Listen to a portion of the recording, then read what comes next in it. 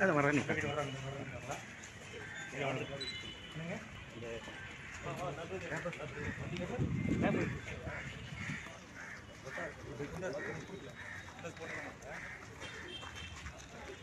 வீட்டில் கொஞ்சம் தைரியமாக இருக்கு ஆ சொல்லிட்டு பேசல பேசல அப்படியே விட்டுக்கிட்டேன் ரொம்ப ஃப்ரீயாக இல்லை இல்லை ப்ரோ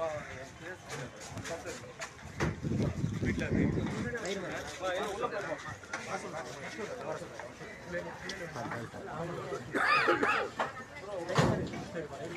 ಅಣ್ಣ.